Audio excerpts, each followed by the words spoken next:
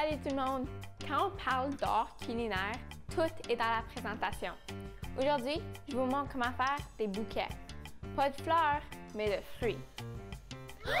Pour moi! Pour faire un beau bouquet, ça prend plein de couleurs.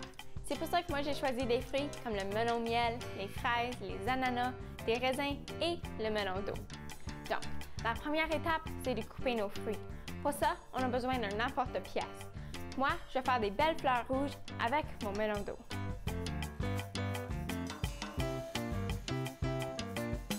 Et pour les fleurs jaunes, je vais utiliser de l'ananas.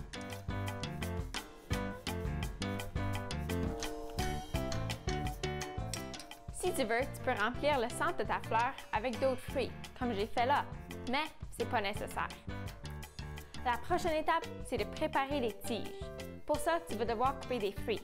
Amuse-toi à les faire en triangle, en carré ou en cercle.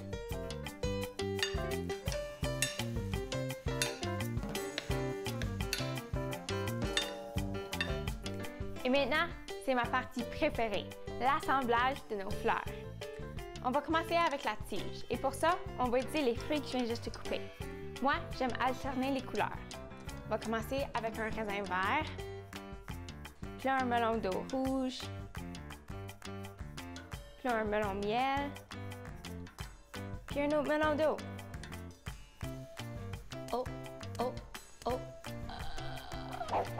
Et puisque le melon d'eau est rouge, je vais utiliser ma fleur jaune. Et voilà, une première fleur pour ton bouquet.